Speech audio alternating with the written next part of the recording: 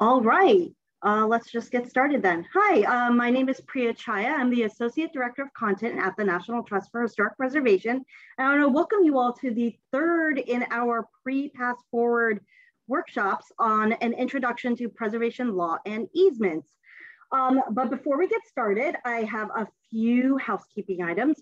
Um, the first is that we are recording the session and any information we share in the chat and um, the slides and everything will be available after this is done. Uh, we will include it into in a, a follow-up email that will be sent out to the email that you registered for this session with about 24 hours after the workshop is over, so tomorrow.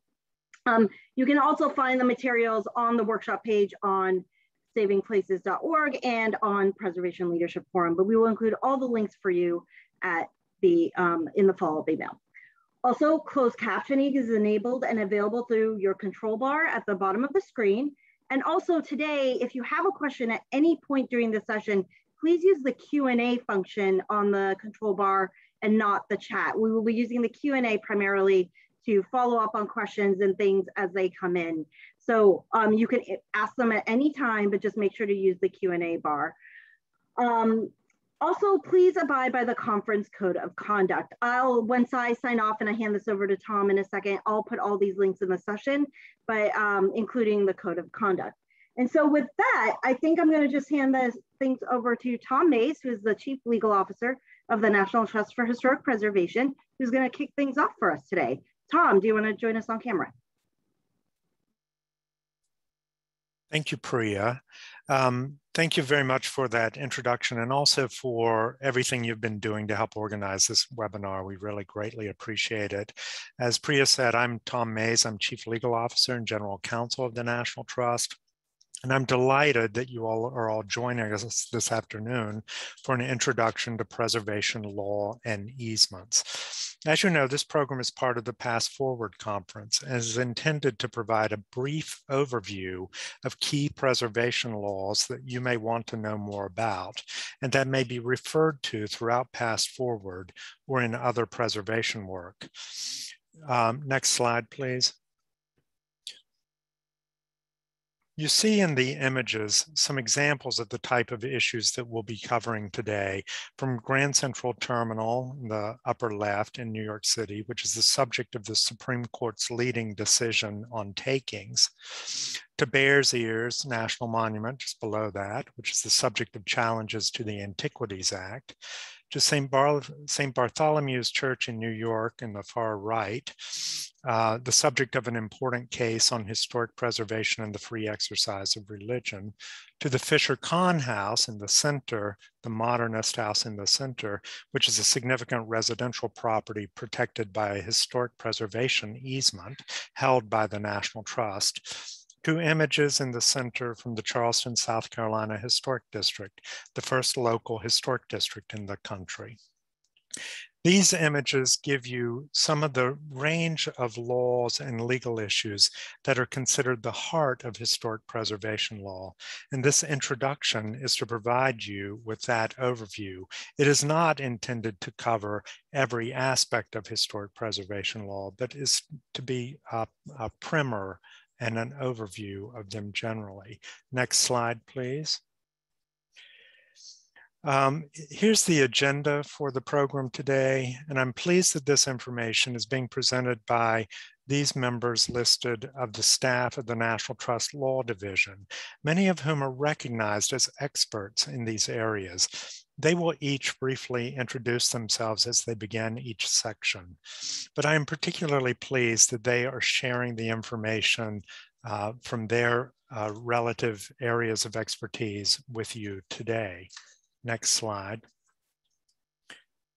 Finally, there, there will be many other sessions that PastForward that touch on legal issues, and I invite you to attend these sessions. One of the topics that we are not covering in this session is incentives, and I'll particularly point out the two sessions on the historic tax credit, one on November 4th at 3.15 and another on November 5th at 3.15, which will focus on case studies of historic buildings. Um, I will also um, really invite you to uh, participate in the easement roundtable, particularly for those of you with easement programs. This is a particularly popular aspect of the conference.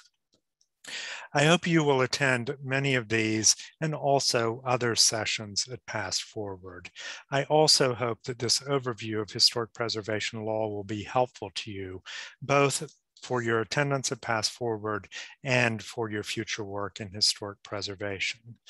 And now I would like to turn this over to Betsy Merritt, my long-term colleague at the National Trust, to provide an overview of federal preservation laws. Thank you. Betsy? Good afternoon. Uh, I'm going to be summarizing the key federal historic preservation laws. So we have a lot to cover. Next slide, please.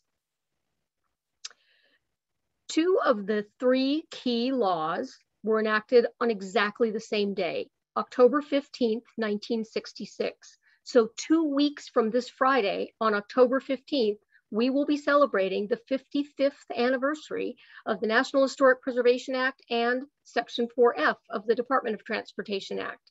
These were followed a few years later by the National Environmental Policy Act, NEPA, which was signed into law by President Nixon. These laws were in part a response to the community destruction that was being wrought by urban renewal programs and the construction of interstate highways through urban areas. And together, these laws have dramatically reshaped the way that infrastructure decisions are made and the things we take for granted as fundamentals today, such as the opportunity for public input to infrastructure decisions. They were established by these three laws. Next slide.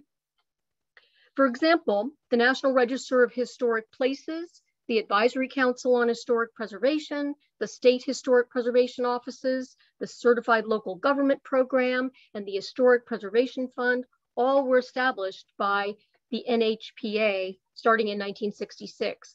Then in 1980, Congress directed the Park Service to address tribal preservation funding needs.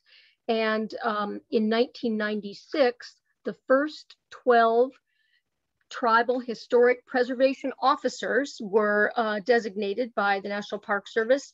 And today we have more than 200 THPOs, tribal historic preservation officers. But let's focus on the two key procedural provisions of the National Historic Preservation Act, Section 106 and Section 110. Section 106 is a procedural stop, look, and listen requirement, and the regulations issued by the Advisory Council on Historic Preservation, they introduced the concept of consultation, which has been a real game changer.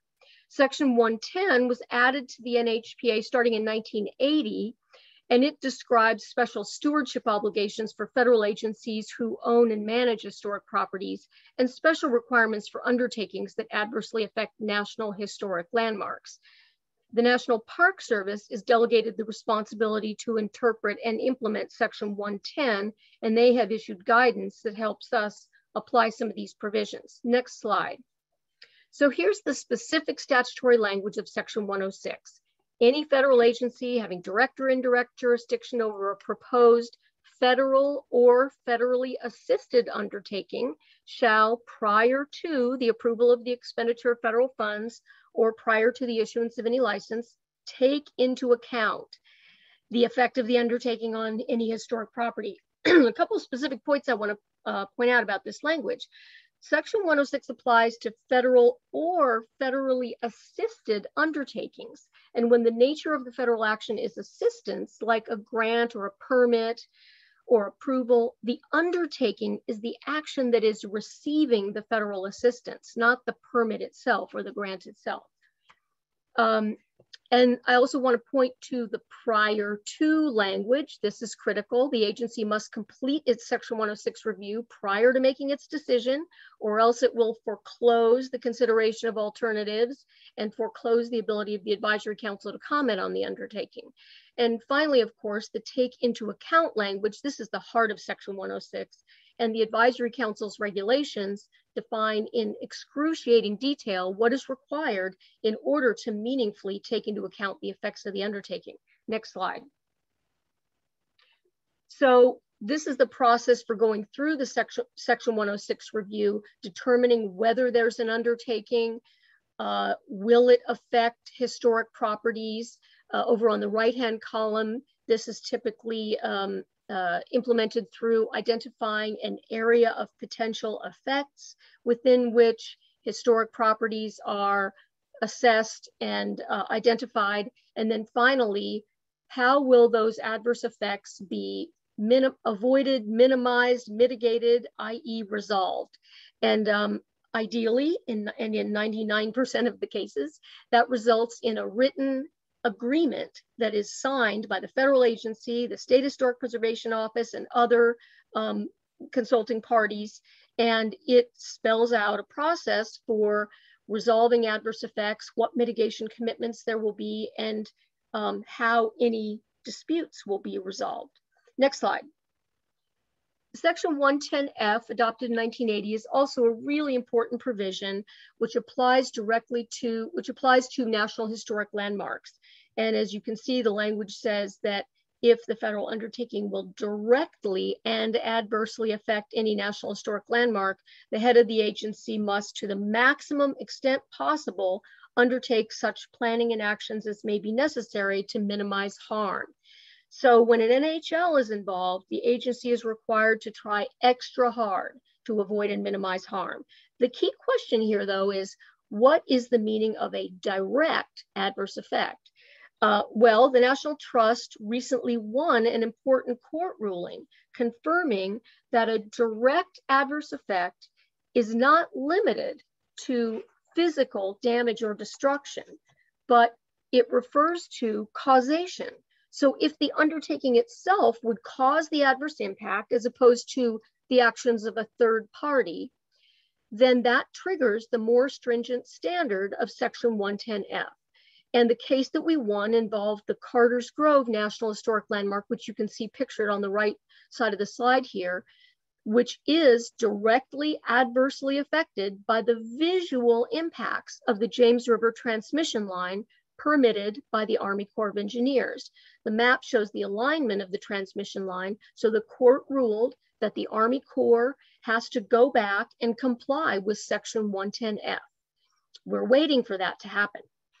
Uh, next slide.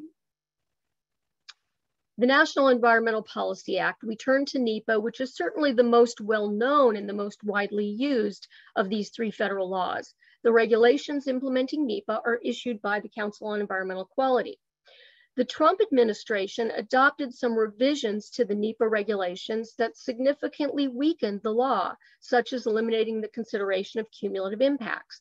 And the National Trust is involved in a legal challenge to those regulations led by the Southern Environmental Law Center, uh, which is currently pending in the Federal Court of Appeals. So right now there's enormous uncertainty surrounding the NEPA rules. And I'm sure it's very difficult for federal agencies who wanna to try to make decisions uh, while minimizing their vulnerability to legal challenge. Next slide. NEPA was originally passed in 1969 and 1970. It requires disclosure and consideration of impacts and of mitigation and alternatives. Um, but the agency is not required to change the project or adopt any mitigation measures. So it's strictly procedural. It applies to all environmental resources, including historic and cultural properties, and not just those that are eligible or listed on the National Register. And the public input process prescribed by NEPA is extremely important but it doesn't require consultation, which is the direct back and forth dialogue, if you will, required under the Section 106 regulations. Um, so it's not uncommon to have a public hearing under NEPA where people testify and raise concerns and objections, and the agency listens and says, thank you for your comments, and, and, and that's the end. There's not a there's not a back and forth. Next slide. So what triggers NEPA? It's a different threshold than, the, than Section 106. Major federal actions significantly affecting the quality of the human environment. And those, uh, that category is what requires preparation of an environmental impact statement, a detailed statement about the environmental impacts. So that's a higher threshold than what triggers Section 106. Um, And the federal agency with the decision-making authority is the one responsible for carrying out the NEPA review, which is supposed to be done concurrently with the Section 106 review. Next slide. So the $64 million question is whether to prepare an environmental impact statement or an environmental assessment. And sometimes the purpose of an environmental assessment is to evaluate whether the impacts are significant enough to require an EIS. Um, uh, an environmental assessment uh, is what was prepared in the James River uh, transmission line case that I mentioned earlier. And we also won a court ruling that the Army Corps of Engineers was required to prepare a full environmental impact statement. Uh, so this is a question that is often brought to court because um, next slide, uh, uh, one of the uh, one of the disadvantages of uh, NEPA is that uh, going to court is really the only way to resolve disagreements or disputes under NEPA. Um, and in, sometimes uh, the court says, yes, the agency is required to go back and prepare an environmental impact statement. But in making the decision in the first instance, the agency looks at whether the project will have a significant impact. Um, and uh, there are also, each agency has adopted categorical exclusions for types of projects that are unlikely to have environmental impacts. And so um, an environmental assessment is not necessary.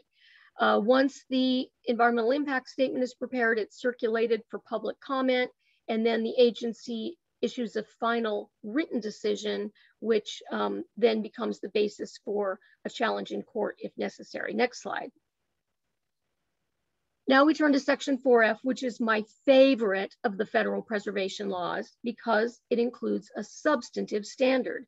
It prohibits the use of historic sites and publicly owned parks, recreation areas, and wildlife refuges for any transportation project unless there's no feasible and prudent alternative to using the land and the project includes all possible planning to minimize harm. Next slide.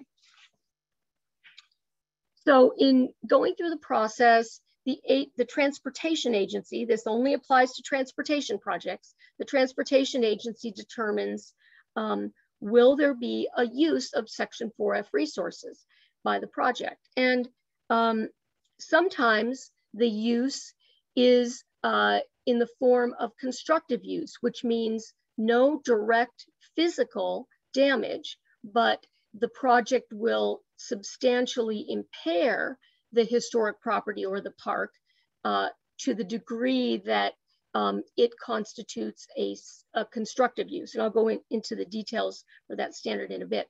Um, there is an exemption if the use is considered de minimis. And in the case of historic properties, that means if you get a written uh, signature from the state historic preservation officer confirming that if you're going to take a 10 foot strip of a 100 acre historic property, it's going to have no adverse effect, even though you're physically using a portion of the historic property. That's the, that's the concept of the de minimis exemption. So assuming there's no exemption, then the agency has to evaluate prudent and feasible alternatives to whether the use of the 4F resources can be avoided and um, incorporate all possible planning to minimize harm into the project. Next slide. Um, so the feasibility of an alternative is rarely ever an issue. The Supreme Court eh, has defined it and the uh, transportation agencies have adopted in their regulations the definition that if it can be built as a matter of sound engineering, it's feasible. But the arguments always revolve around whether an alternative is prudent. Um, and these are the regulations that have been adopted by the Transport Department of Transportation to try to define how you evaluate whether an avoidance alternative or a less harmful alternative is prudent. Um, you know, would the less harmful alternative involve some kind of unacceptable safety issue? Would it involve um, costs, uh, costs of, of extraordinary magnitude? Would it involve community disruption? Um, and so balancing these factors and looking at all these factors, the agency decides uh, whether a less harmful alternative or an avoidance alternative is prudent. Next slide.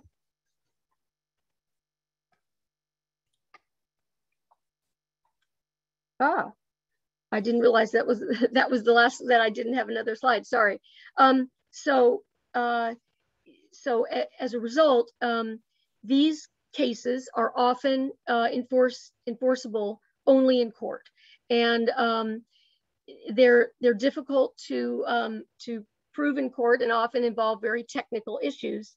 Uh, we recently had a court argument involving a historic bridge in Maine, for example, where the, the very technical issues being argued before the court had to do with whether the cost of the preservation alternative, the bridge preservation alternative, um, were costs of extraordinary magnitude and whether the Department of Transportation was evaluating and analyzing those costs in the proper, using the proper methodology. Anyway, um, I will uh, turn, turn uh, the the podium, so to speak, over to Ross and Anne to address constitutional issues. And any questions um, can be put into the Q&A and we will hopefully have time to address them at the end of the program. Thank you.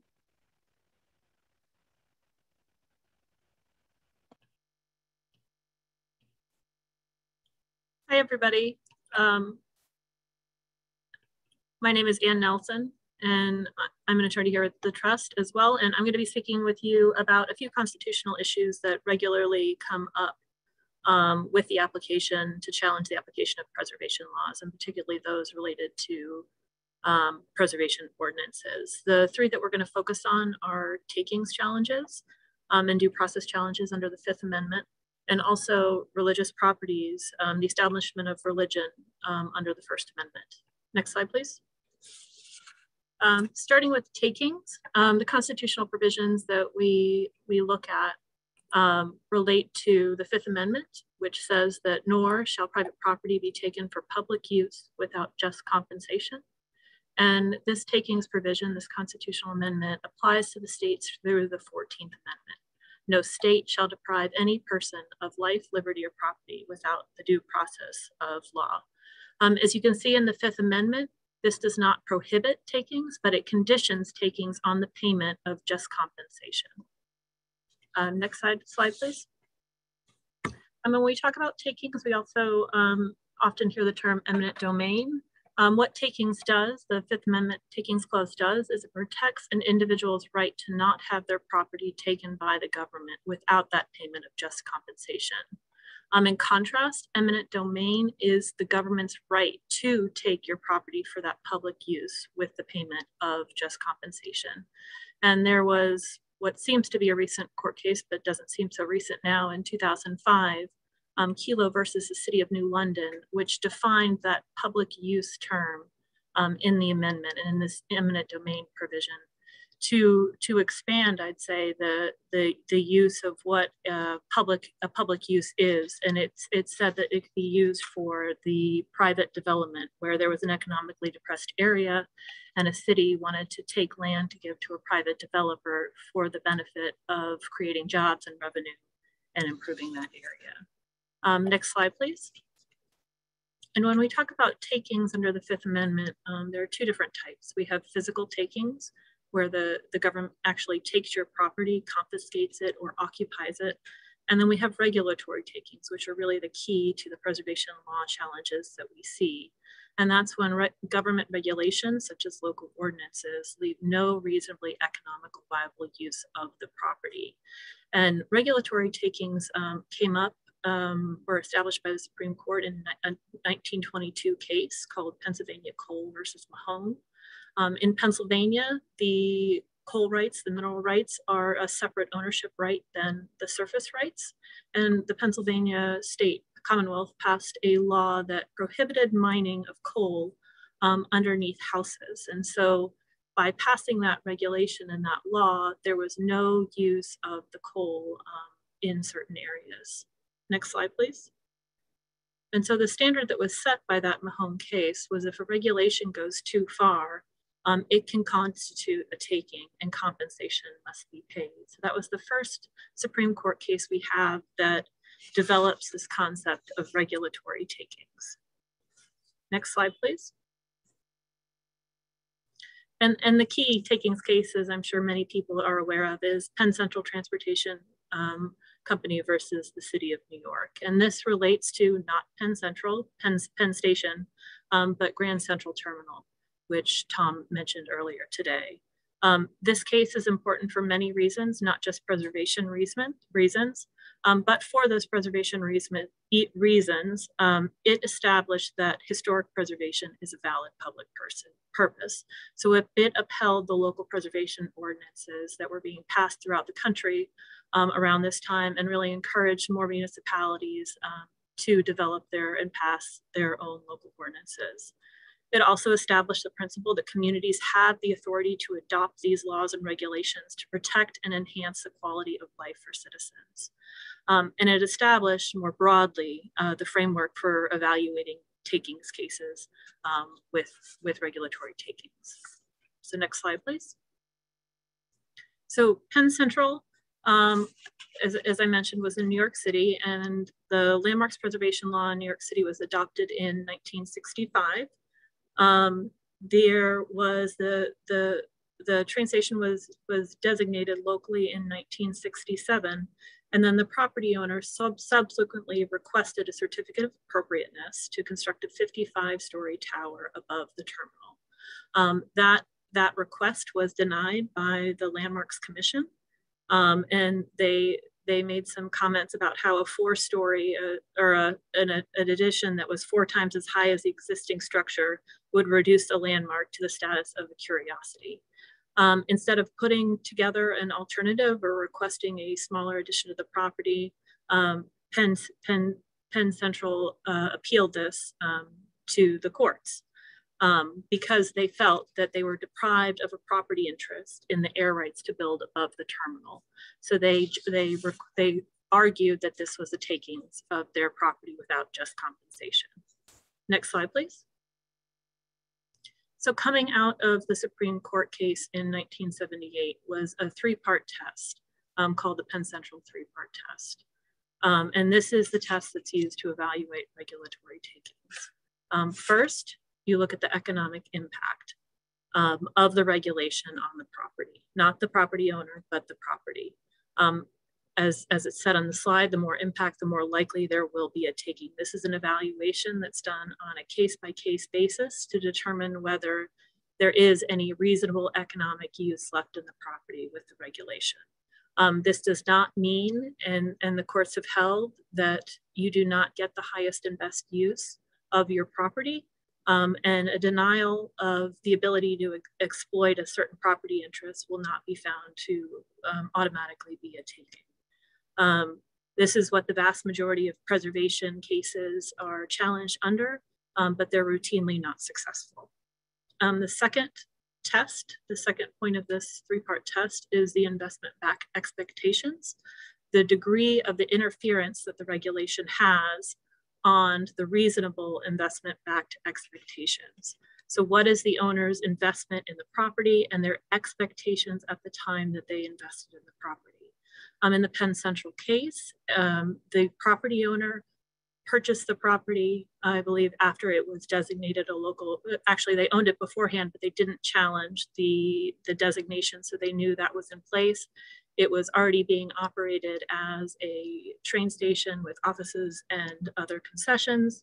Um, so the, the court determined that the regulation on Penn Central um, the local historic preservation ordinance didn't interfere with the reasonable investment uh, investment expectations um, of the property owner in this case. And the final, um, the final key point to this test is the character of the government action um, and whether it restricts development um, or the physical taking, um, such as excuse me, the character of the government action, such as whether it authorizes as a direct physical occupation. And this, this is rarely um, a point that is used to challenge um, historic preservation ordinances. um, but it's the nature of the action of the regulation that is in dispute. Next slide, please. And to summarize some additional key principles that came out of the Penn Central case, um, as I mentioned at the beginning, historic preservation is a valid basis for exercising police power. Um, so again, this allowed other municipalities to substantiate and give them the authority they needed to continue to pass those local preservation ordinances. Um, a preservation ordinance may affect different people differently, but this does not mean that it is unconstitutional. Um, there were arguments made by Penn Central that they were illegally spot zoned because they were tr being treated differently than other people. Um, but the New York Landmarks Law was based on a comprehensive plan that protected, I believe, 31 historic districts and over 400 individual landmarks at the time that it was passed in 1965. Um, the mere diminution of property values, even if substantial, is not equivalent to a taking. As I mentioned previously, the denial of the highest and best use does not automatically mean there, there is a taking. Um, it has to be done on a case by case basis to see what the economic impact of the regulations is on the property. Um, the effect of preservation regulation must be measured in terms of the entire parcel and not just one parcel, one property interest. This is called the parcel as a whole rule.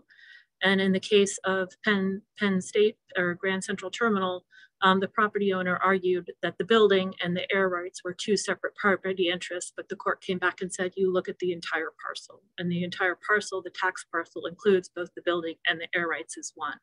And this can be distinct, dis, this can be compared to the Mahon case, where the mineral rights were completely separate, transferred separately under different ownership than the surface rights in Pennsylvania, which is unique to Pennsylvania. Um, and incentives are important, but not dispositive, but a significant factor. And again, in Penn Central, um, the New York Landmarks Law had an, an, incentive to allow historic property owners to use um, transfer uh, development rights, the air rights to other parcels, and that gave um, the property owner some economic benefit um, underneath the landmarks law. But again, not dispositive, but it can be a factor in these analyses. Uh, next slide, please.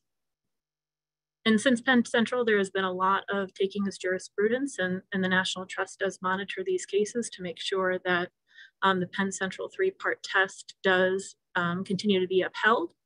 Um, and we, will, we won't go through the cases, but I'm sure Priya has some links that she can send or I'll send um, later in the chat that outline some of these um, cases that relate not just to the denial of permits and designations, um, but also to conditions on extractions and, and conditions on developments. Um, and also um, the evolved Penn, Penn Central test, as they say, is We've got the three parts, the economic impact on the owner, the effect of the reasonable investment expectations, and the character of the government action, such as whether it authorizes a direct physical occupation. However, there was a case um, called Lucas versus South Carolina Coastal, Coastal Council, um, which related to a shoreline development where regulation made building pretty much impossible um, on a waterfront parcel. And the, the rule coming out of that Supreme Court case was that if there is a per se takings, where if it results in a permanent physical invasion or taking of all um, economical beneficial use of the property, then that can be considered a, a regulatory taking. Um, so we have that um, change as well. Next slide, please. All right, moving on to due process. Um, due process as well comes through the Fifth Amendment and the 14th Amendment as applied to the states. No person shall be deprived of the life, liberty, or property without the due process of law. And at the core of the due process clause is that everybody should be treated fair and equal under the law. And the process of making laws will be open to all, um, and enforcement and administration will be open and neutral. Um, this, this constitutional amendment was designed to protect individuals from arbitrary government action um, by ensuring that there's a process for making, applying, and enforcing laws in a fair manner. Um, next slide, please. Um, two areas where due process and preservation intersect. Um, procedural due process um, requires um, adequate notice of something affecting your rights.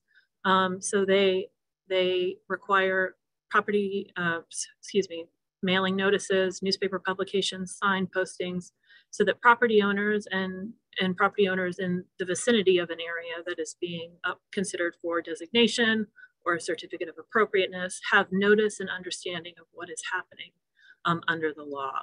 Um, a chance to be heard. Um, there are public hearings, as my colleague Chris Cody is going to talk about, um, where there is a designation or a request to make a change to a historically designated property. Um, there needs to be a hearing. Everybody needs an opportunity to be heard, and it needs to be an impartial hearing. Um, I'm unbiased, and the commission members who are overseeing the hearings need to have no conflicts of interest with the property owners or others participating um, in the hearing. And finally, the third point of due procedural due process is uniform procedures that are fairly um, applied. And this relates to how the hearing is held, when notice is provided, um, that hearings are recorded, decisions are made and issued in a fair um, and reasonably rationally related um, way. Um, most frequently, as it's noted here, um, due process issues come up when buildings are designated or nominated to become local historic landmarks. Um, those can be done without, by others other than property owners. Um, so property owners need to be given notice of, of what, what is going to happen to their, their um, property um, and when they'll have an opportunity to be heard at those public hearings um, also under certificates of appropriateness and, and zoning reviews. And the challenges that frequently come up under due process are um, vagueness. The local ordinance is too vague, so I couldn't understand um, what was happening to my property. Um, so that's the constitutional challenge that we see most frequently um, with due process and local preservation ordinances. Next slide, please. Um, where to find due process requirements? Um, many states have passed laws that require meetings to be in the open so that the public can participate. Um, there are notice and hearing requirements at the state level as well. Um, as I mentioned, local ordinances have their own notice and hearing requirements that are outlined in those um, statutes. And um, there can also be commission bylaws, historic preservation commission bylaws that outline the process, the notice requirements, um, the open meeting requirements. So there are a lot of different things to look at and make sure you understand um, related to local historic preservation commission actions and the due process requirements. Um, and what about during the COVID pandemic? Um, my colleague Jim Lindberg in the preservation division and myself um, put out a, a forum blog, uh, I guess about a year and a half ago now, which is sad. Um, but that talked about some of the changes that municipalities and states made to these procedural due process requirements, given that we were in a global pandemic. Um, sunshine laws were modified to allow um, meetings to occur um, without the public during an emergency situation. Um, municipalities and cities passed ordinances that allowed for meetings to occur virtually, and commissions and others uh, developed new ways to provide notice um, via email, by posting things on the websites, and by developing different ways for um, participants to comment and be heard in those virtual meetings.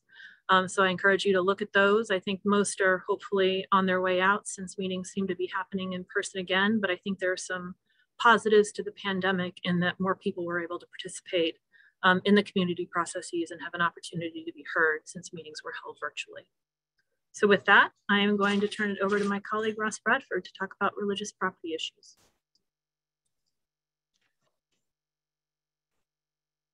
Thanks, Anne. I appreciate uh, you um, your presentation. Um, so my name is Ross Bradford. I'm Deputy General Counsel at the National Trust, and I'm going to talk to you about religious properties in, in the intersection with the First Amendment.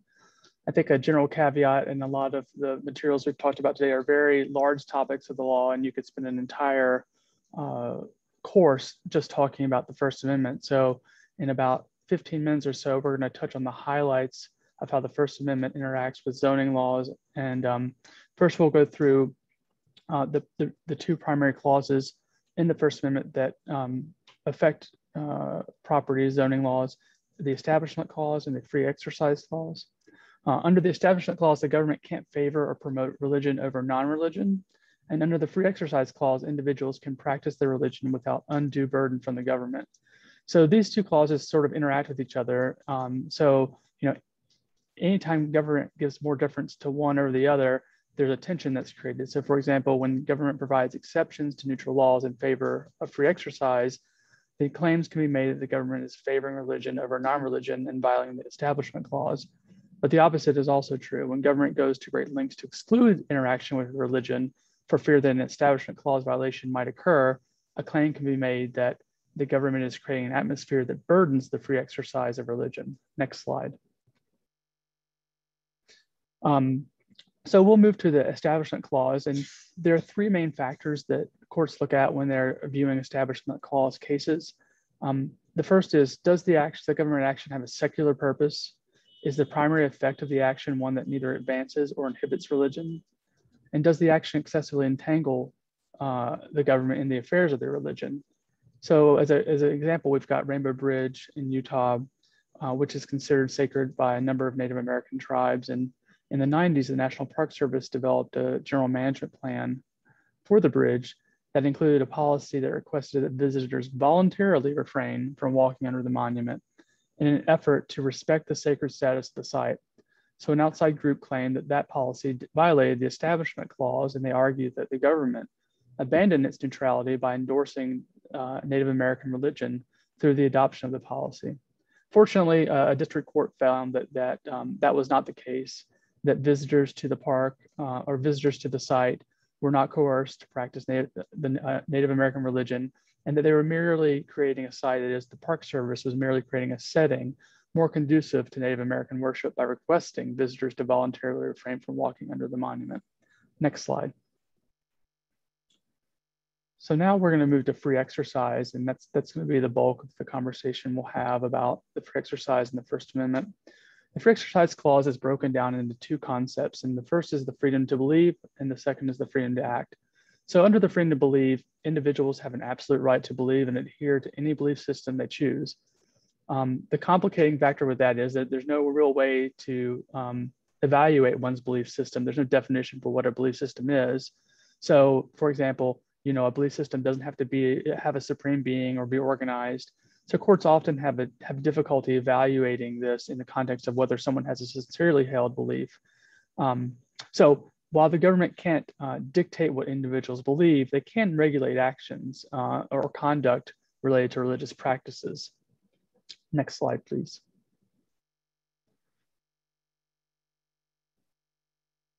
So the constitutional issues framed by the Established Clause and the Free Exercise Clause create a framework for individuals to sue the government when they feel their rights have been violated. Um, we're now going to look at the law known as the Religious Land Use and Institutionalized Persons Act that codifies case law in an attempt to protect free exercise rights. RLUIPA is a federal law that Congress passed in reaction to two Supreme Court cases, Employment Division v. Smith in 1990 and City of Boerne v. Flores in 1997. Prior to Smith, from the 1960s to, the, to 1990, strict scrutiny was applied generally to all laws that were challenged under a free exercise claim. Under, under strict scrutiny, in order to burden religion, the state had to have a compelling state interest that was narrowly tailored to do so. Uh, in 1990, Smith carved out an exception to applying strict scrutiny in cases where, where the laws in question were neutral and generally applicable. This uh, Smith case created a, a great uproar uh, and Congress acted in 1993 to create the Religious Freedom and Restoration Act, seeking to restore strict scrutiny as a statutory right under both um, state and federal laws. Under Boerne, the court struck down RFRA because it exceeded Congress's power as applied to the state, although RFRA continues to be applied to federal laws. In response to Boerne, Congress enacted a narrower law, uh, or the Religious Land Use and Institutionalized Persons Act, so with RLUIPA, it only applies to land use regulations or regulations related to institutionalized purposes. And generally, um, uh, restores the standard established by Employment Division v. Smith so that if a, a substantial burden of religion exists uh, through a land use regulation, then the government must have a compelling interest to do so that is tailored using the least restrictive means. Um, also, RLUIPA creates a right of action if land use laws treat religion on less than equal terms with non-religious entities, or if the application of land use laws has the effect of discriminating on the basis of religion or a religious denomination. Uh, finally, one of the most powerful things under RLUIPA is the fact that attorney's fees are available to plaintiffs that win their cases. So there's a statutory right to attorney's fees, which can be extremely um, expensive for local municipalities. Next slide, please. So um, under RLUIPA, we're fortunate that there's a um, robust legislative history that explains and provides a great deal of context for the basis for why RLUIPA was implemented. And uh, it doesn't, however, provide a standard for assessing what a substantial burden on religion is. And so courts often look at a variety of different standards, and there's no one single standard that courts um, agree, agree with. So some common questions that, that courts struggle with or apply when they're evaluating whether substantial burden exists is, you know, what is the degree of coercion or constraint on religious exercise imposed by the land use regulation? Does the regulation significantly inhibit or constrain conduct or expression? Does the regulation significantly modify behavior or violate beliefs that denies a reasonable opportunity to engage in those activities that are fundamental to one's religious beliefs? Does the regulation bear a direct, primary, or fundamental responsibility for rendering a religious exercise effectively impracticable? So you can tell from the variety of different standards that are applied, some are very strict and some are, some are more loose. Um, so it's, it's difficult for courts to, to um, evaluate uh, what is a substantial burden. Um, and there are a variety of different standards that are used across the country. Next slide. Uh, under RLUIPA, there are two uh, two burdens that must uh, that are uh, are present. The first is the plaintiff's burden. Um, so anytime a plaintiff makes a claim under RLUIPA, the plaintiff has the burden of showing that that um, the burden on religious exercise is substantial. Um, but as I said earlier, because there's no agreement on what the standard for evaluating whether a substantial burden exists, oftentimes plaintiffs are fairly successful in showing that a substantial burden is present. So once that happens, uh, the, the burden is shifted to the government, and then they must show that there's a compelling state interest for the regulation uh, that's accomplished through the least restrictive means.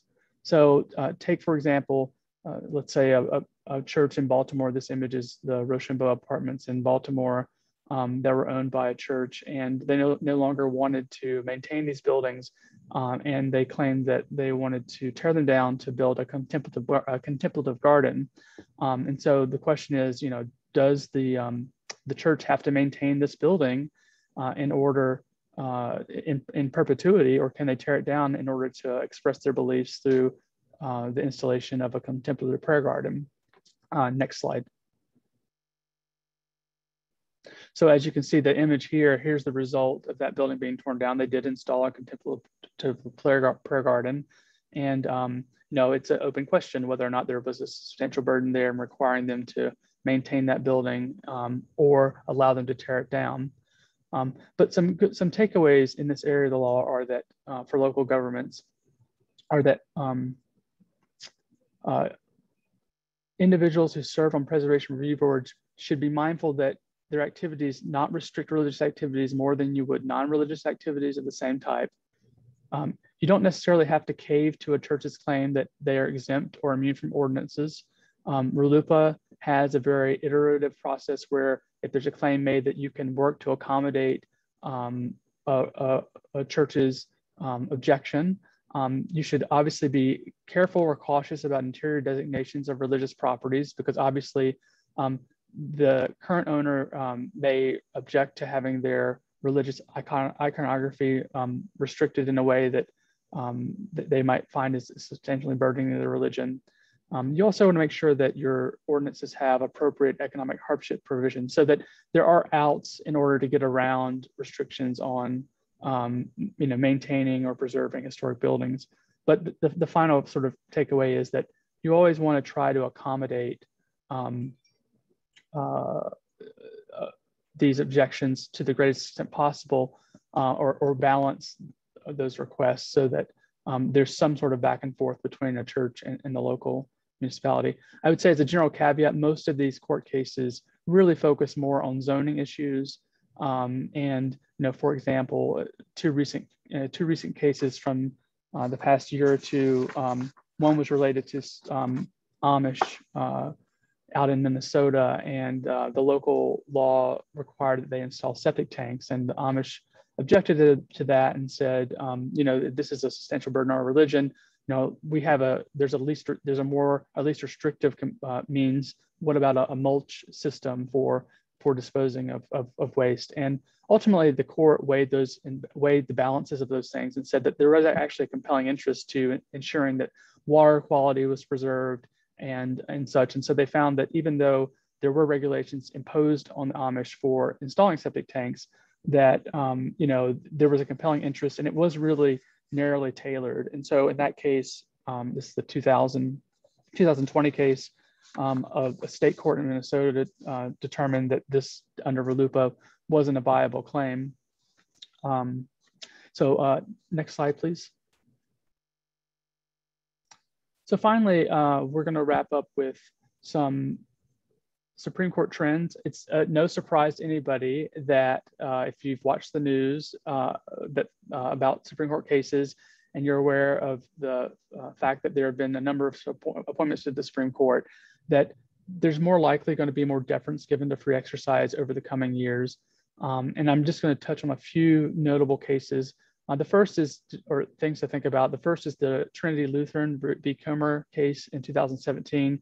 And here the Supreme Court found that churches can't be excluded from state playground grants simply because they are a church. Um, so that's important because uh, grants generally, grant, grant uh, type uh, uh, systems that provide grants for preservation projects or other types of um, uh, bricks and mortar projects generally are thought to not violate the establishment clause. However, there are objections to those things. In some states, particularly um, in the in the Trinity Lutheran case, they thought that you know that there should be a strict separation from churches being allowed to apply for grant funding for their for basically a secular playground, even though it's on a church property. Um, a very specific case related to preservation grants that actually was opposite of this is in New Jersey, the Morris County case, um, uh, the Supreme Court denied cert uh, for this case, even though the New Jersey Supreme Court said that under New Jersey's constitution, churches uh, can't be applicants for preservation grants in New Jersey. Um, and this was such a, a, a, big deal that Justice Kavanaugh issued a statement. Um, and, and in this statement, we gain a lot of insight in his views on free exercise. And basically, um, you get a sense that he, he, has a very strong feeling that, you know, barring religious organizations because they are religious from a general historic preservation grant program is pure discrimination against religion, basically on its face. And that, you know, in my view, prohibiting historic preservation grants to religious organizations simply because the organizations are religious would raise serious questions under this court's precedents and the Constitution's fundamental guarantee of equity, equality. Um, so you know where he stands on this issue. And then following that, there were two other cases um, uh, Tandon v. Newsom uh, and the, the Fulton County case, um, the, the gay adoption case, where the court is actually signaling um, a, a, bit more openness to revisiting Smith. The thought was in Fulton that they would overturn Smith. They didn't. They did sort of um, reaffirm that if there's any sort of exception um, to a neutral law, meaning there's any sort of discretion at the government level to grant accommodations, then that law by definition is not generally ap- applicable um, and would be struck down. Tandon v. Newsom goes a bit further, and um, even though this was not a case for the court, they granted injunctive relief for COVID restrictions uh, in California related to in-home secular and non-secular gatherings. Um, basically, the members of the court that wrote um, uh, um, opinions related to the injunctive relief order um, followed what's, what's known as a most favored nation status, which means that if a state grants an exemption for the exercise of any other right, such as such that the law at issue is deemed under-inclusive, the state would be constitutionally required to grant an exemption for comparable free exercise activities. Essentially, if there are other exemptions available there, you have to give an automatic free pass to free exercise activities. Um, next slide. And with that, uh, we'll pass it off to Chris Cody. Thank you so much. All right. Well, hello, everyone. My name is Chris Cody, and it's my pleasure to talk to you today about local historic preservation ordinances. Uh, it's my goal in this short presentation to present you with a holistic review of local ordinances that typically impact historic preservation. And this of course includes local historic preservation ordinances and design guidelines, but it also includes other local ordinances and some state laws that can impact local historic preservation ordinances. Next slide, please. Let's start with state laws that impact local historic preservation ordinances. State planning acts are the enabling legislation for local zoning laws, which includes the authority to establish both historic preservation zoning districts and historic preservation commissions. State planning acts also contain the enabling legislation for other local bodies that impact preservation, like planning commissions and zoning appeal boards. As with all zoning laws, they're an exercise of the government's police power, which was found to be constitutional in the 1926 Supreme Court decision, Village of Euclid versus Ambler Realty. So in addition to enabling those bodies, state planning acts also require municipalities to develop comprehensive or general plans, which are master planning documents for communities. State historic preservation acts usually concern the responsibilities of state agencies, uh, state agencies and state undertakings in regards to historic resources, but they can also sometimes contain the enabling legislation for historic preservation commissions and historic preservation zoning overlays. So within one of these two types of laws, state planning acts and state historic preservation acts, you will find the legal framework which local historic preservation ordinances must exist within in your state. There are several other types of state laws that, depending on the jurisdiction, can have major impacts on local historic preservation ordinances. So open meeting laws, these detailed state requirements form the basis for the procedural rules for historic preservation commissions. All local ordinances must meet these requirements. Uh, real property laws. An example of a real property law that can impact local historic preservation ordinance is heirs property. If your community is in a state with heirs property laws, effectively dealing with the issue of demolition by neglect through local ordinances can be very challenging. Takings laws. Many states have enacted their own laws defining takings, especially in the wake of the Kelo decision, which Anne Nelson just discussed. An, an, example of one that impacts local preservation ordinances is Arizona's Private Property Protection Act, which defines as a taking any government action that diminishes a property's value. And this has led to many Arizona communities, including major cities like Flagstaff, ceasing all demolition denials, while others have ceased all new historic preservation designations. Next is STR short-term rental laws. Some states have, have preempted localities uh, by prohibiting the regulation of short-term rentals within the whole state. Others have established statewide regulations. State law, as well as your community's relationship with short-term rentals, should inform what accessory uses your local preservation ordinance will allow or even encourage. And lastly, demolition by neglect. State enabling legislation can specifically define and enable communities to enact laws to prevent demolition by neglect. And some states have also even established review and appeals processes administered by SHPOs in relation to demolition by neglect. So these are all areas of state law that you should be aware of and review when considering your community's historic preservation ordinances. Next slide. Moving on from state laws to the local level, these are the bodies established in local ordinances that typically interact with historic preservation issues. All of them have legal authorities via local ordinances to positively or negatively impact preservation, and effective local preservation advocacy requires engagement with all of them.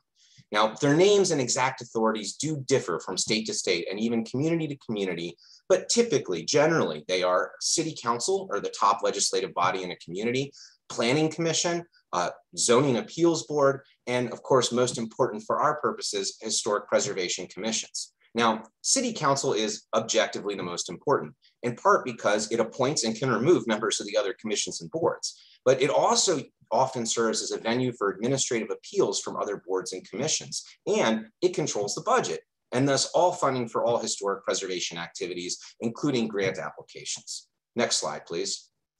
Planning commissions are also a very important body. Their authority is limited to making recommendations to city council, but they hear applications for rezonings, subdivisions, and PUDs or planned urban developments. And these projects are often the largest scale new development projects in communities that can have massive impacts on historic resources and preservation.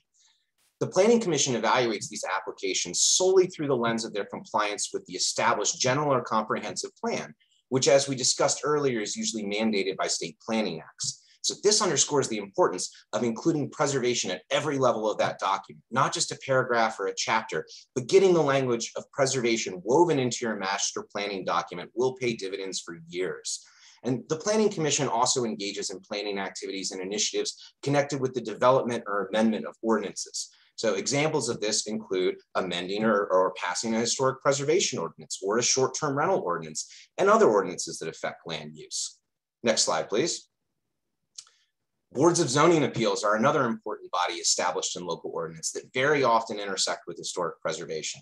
Boards of zoning appeals hear requests from variances from underlying zoning and also hear applications for specific uses within certain overlay districts. In both cases, boards of zoning appeals evaluate applications using very specific tests or standards codified in ordinance. And this slide has an example of the variance test from Charleston, South Carolina. Types of variance requests that can impact historic resources include requests for additional height, lot coverage, or density on a parcel. And many cities have set up overlay districts, districts with specific tests to manage uses. An example of this is Charleston's accommodations overlay which covers downtown Charleston's main historic districts. In order to have an accommodations use like a hotel in this area, an applicant must pass a specific test reviewed by the Zoning Appeals Board. And these overlays and tests are important to ensuring resident quality of life by maintaining a sustainable balance of uses within historic districts. Again, these are local ordinances, local zoning overlays, and they can be developed specifically with preservation in mind. Lastly, it's important to note that most state planning acts guarantee a right to just judicial appeal from decisions made by local uh, boards of zoning appeals. As I mentioned before, many cities also have an administrative appeals process that allows city councils an opportunity to review controversial decisions. Next slide, please. And now here we are to Historic Preservation Commissions, the star of the local historic preservation show. Historic preservation commissions are established in the local zoning code. So their authority thus comes from the government's police power. An ordinance establishing a commission must have several elements at an absolute minimum. It should make clear that preservation is a community priority. It must clearly state the powers and authorities that the commission shall have. It must detail the procedures and rules for meetings, which as we previously covered, must be aligned with state open meetings laws and the constitutional due process requirements that Anne covered earlier. It also must, uh, an ordinance also must establish who sits on the commission. Now, in terms of what powers a Historic Preservation Commission may have, their core function is actually to engage in historic preservation planning and designation activities. A local Historic Preservation Commission's enabling ordinance must contain a statement of the resources protected by the ordinance. For example, all historic resources located within a historic preservation overlay zone and the criteria and process for nominating and designating properties for that protection. It is the job of the HP Commission to administer this process and to lead community efforts to expand local historic districts and to list new ones. This function of planning and designation is virtually universal for historic preservation commissions across the country, yet it is often neglected, especially by commissions who have to deal with a high volume of design review applications. Though most historic preservation commissions participate in the National Park Service Certified Local Government or CLG program, this certification is required to receive federal grant money for historic preservation planning activities. And believe me, federal CLG grants are the best source of funding for historic preservation planning activities. To participate, in addition to having a commission, a community must also have a historic preservation ordinance. That's it.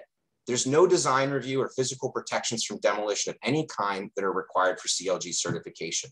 A local historic preservation can exist in your ordinance and be a CLG with no authority other than the responsibility to nominate and designate historic properties. And many actually start this way to get into the program, which then makes them eligible for CLG grants to develop guidelines and further expand their ordinances. And finally, here we are at the heart of what most people think about when they think of local HP ordinances, local design review. For your local historic preservation commission to have design review authority, it must be specifically enabled in local ordinance. Procedures for applications and reviews of proposed projects must also be established in the ordinance, and these procedures must meet both basic due process requirements and any specific requirements established in state law. There also must be enforcement procedures like stop work orders, fines, and penalties established in ordinance. And depending on the extent of the authority granted to the commission, an administrative appeals process may also be something to include, as well as variances for things like economic hardship. Lastly, for a Historic Preservation Commission to have design review authority, design guidelines must also be included in the ordinance, either in the text or as an appendix. While the Secretary of Interior standards are often incorporated by reference as well, individual guidelines must be included. Let's talk about this requirement in the context of the evolution of local historic preservation ordinances. Next, next slide, please. So this is just how I've come to organize local historic preservation ordinances in my mind. This is nothing official or formal, but to me, it reflects the variation and evolution of local ordinances. The generation one ordinances are relatively simple ordinances in terms of how they technically address preservation. They're usually adequate in terms of procedural matters, often having been updated to be consistent with changes in state open meetings laws, but they're sometimes substantively as short as one sentence and a vague charge to ensure compatibility. And these currently often fail judicial tests because they're an arbitrary, because they're deemed to be arbitrary and capricious in violation of due process requirements. Just giving other citizens broad subjective authority to veto proposed projects because they deem them incompatible to the economic detriment of applicants has unsurprisingly not been viewed favorably by modern courts. So generation two constitutes the majority of ordinances today. Instead of merely having vague language about ensuring compatibility, Generation 2 ordinances have descriptions of specific design elements that are appropriate for local contexts, like materials, massing, siting, and architectural details. These can range from still being short, as in a few paragraphs with a few descriptors, to longer, sometimes impenetrably long ordinances with encyclopedic recitations of architectural terms. So Generation 2 ordinances typically survive judicial review. Many have been updated with additional appendices as well as persistent design issues have arisen in communities. So there are innumerable examples of Generation 2 ordinances around the country, and the National Trust and the National Association of Preservation Councils have both published extensive guideline on these types of ordinances and guidelines. So rather than tread again on that well-trodden ground, let's talk about Generation 3. So generation three ordinances, they have even more detailed written guidelines, even more references to specific local contexts, all vague language is removed. And here at the end, this is the most important part to me, they usually contain tools and examples to help the public. Generation three uh, recognized the goal is to encourage good applications to historic preservations with design review authority. And this is a goal beyond simply protecting, protecting against liability by having a well-developed, non-arbitrary and capricious ordinance, the goal is to give the public as much information as guidance as possible, because that's how you get the best applications. And the less time a commission has to spend dealing with bad applications, the more time a commission can spend on proactive preservation initiatives like designation and planning. Think about it like this. An unsophisticated party in another state or country who may be considering buying property in your community's historic district should be able to look at your guidelines and, even if they've never been to your town, understand what will and won't be approved by your board. Unfortunately, it's very difficult for laypersons to understand detailed ordinances chock full of architectural terms, much less visualize compatible new designs. So generation three makes it easier with visuals, more comprehensive guidelines, and tools. Let's take a look at some of those tools. Next slide, please. So this is the cover page for a recently enacted set of design guidelines from Williams, Arizona. It's a Route 66 town that's also the closest town to the Grand Canyon with a population of only about 3,000. Next slide, please. Even for a town of this scale, this is how developed their design guidelines are. This is an over 50 page document that's now been incorporated as an appendix to their zoning code.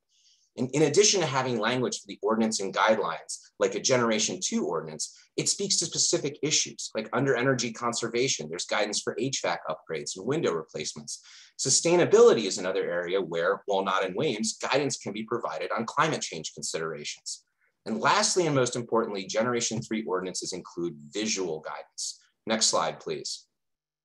Instead of just writing that vertical windows with transoms are acceptable, figure number seven provides a picture of one from the local context to help the public understand what is successful and context appropriate. This extra visual orientation is extremely appropriate. Next slide, please. In fact, every single architectural term mentioned in Williams's ordinance and guidelines are supported by a picture from Williams's historic district showing that architectural element. This is the ideal level of guidance. It's impossible to read Williams's ordinance and guidelines and look at these pictures and not understand exactly what they're talking about. Next slide, please. This image is from Charleston's Board of Architectural Review Guidelines. This is an example of more conceptual guidance, in this case for massing and urban design responses. Again, this is the kind of visual guidance that's superior to written descriptions. Conceptual models are also more helpful for design concepts like massing and urban response, whereas photos are most helpful for elements like architectural details. Next slide, please. And this is my absolute favorite tool. This is an approval matrix to help guide both members of Charleston's Board of Architectural Review and applicants. Notice that it doesn't say anything definitive, just easier to approve and harder to approve. You know, this clearly lets applicants know that some design choices, like lower ceiling heights and using composites instead of natural materials, will be harder to approve. This is exceptional guidance for applicants, far beyond just listing desirable design elements in written guidelines, and even beyond photographs and conceptual models. These are the kind of tools that are included in Generation 3 ordinances that are typically not found in earlier historic preservation ordinances. Next slide, please. Lastly, I'd like to draw your attention to a few current issues that are important to consider when drafting or revising a local historic preservation ordinance. Um, demolition by neglect. This is a huge problem in, in preservation. Many communities address it by developing an entire separate ordinance that gives their Historic Preservation Commission authority to declare that a property is suffering from demolition by neglect and to take remediative measures. However, developing a standalone demolition by neglect ordinance is a significant endeavor that has to include specific considerations like exceptions for economic hardship. An alternative path that I recommend is to give historic preservation commissions referral authority to building code departments. Most structures suffer, suffering from demolition by neglect also violate the building code, and the code officer is already empowered to undertake enforcement actions against them. The Historic Preservation Commission simply having a mechanism in ordinance to bring a neglected historic building to the code official and city council's attention can be a more achievable scheme than developing an entire separate demolition by neglect ordinance. So next is accessory dwelling units or ADUs. As we mentioned earlier, whether or not your state allows you to regulate short-term rentals and what your community's relationship is with them should inform your design guidelines concerning ADUs. You can encourage them or not encourage them via your local historic preservation ordinance and design guidelines. So this next one, feet versus stories, is, is really a public service announcement. I'm just trying to get the word out to everyone. When you're looking at your historic preservation zoning overlays and guidelines, if you can at the same time change the height zoning within your historic preservation overlay zone from feet to stories, do it. Feet makes you have a uniform skyline and discourages high ceiling heights. Stories liberates architects. Regulating height by feet instead of stories is an artifact from the 20th century and it was a mistake. Window replacements. This is one area where I advise all design guidelines to have a separate section. Windows are the most commonly replaced building element, and old ones can be very difficult to repair or replace in kind. It's also a minor enough project that it usually won't go to hearings and can be approved at a staff level. So make sure that the guidance on them is clear in your ordinance and guidelines. So this next one, the availability of historic materials and skilled, skilled contractors is, you know, you really need to be aware of what reasonably can and can't be done in your community. An example of this is adobe repair in Arizona. There are only a handful of people that are skilled at adobe repair left in the whole state. So if there were an affirmative maintenance requirement to maintain Adobe at a certain level, it would be nearly impossible for many homeowners to meet that and it would be a futile requirement. And lastly, climate change. You know, many communities are already working on supplements to their guidelines to allow for elevating buildings and other climate considerations. When you're working on your ordinances, updating them or developing them, be forward thinking about this and anticipate it. Well, in conclusion, I hope that you now have at least some understanding of the world of local preservation ordinances and local bodies and processes that interact with historic preservation and how to design or upgrade historic preservation design guidelines in your communities. There are many resources out there that can help you develop or upgrade your community's historic preservation ordinances. And I encourage you to contact your SHPO office or State Historic Preservation Office, who administer the certified local government in each state for your state specific guidance and model ordinances from your state. Thank you very much. Uh, with that, I'll turn it over to the next presenter.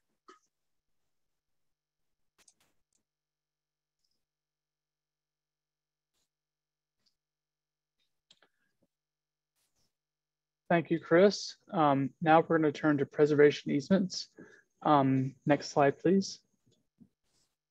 So basically, we'll start out with a general definition of what a preservation easement is.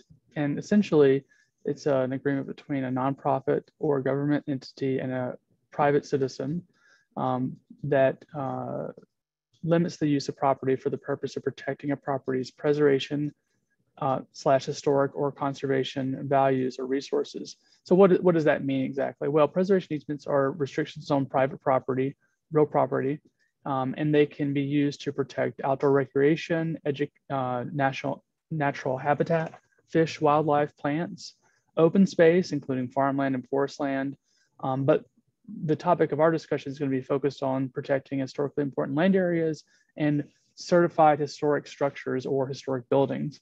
Um, we use preservation easements to protect significant things about properties. So when we um, evaluate properties, we want to look at, well, what are the conservation and preservation values that are important to protect? And sometimes that involves regulating subdivision. Sometimes that uh, requires uh, making agricultural uses um, uh, conform with sound agricultural practices or forest management practices that conform with sound forest, manage, forest management practices, or just simply uh, preventing demolition of historic buildings or regulating changes or alterations to historic buildings and structures.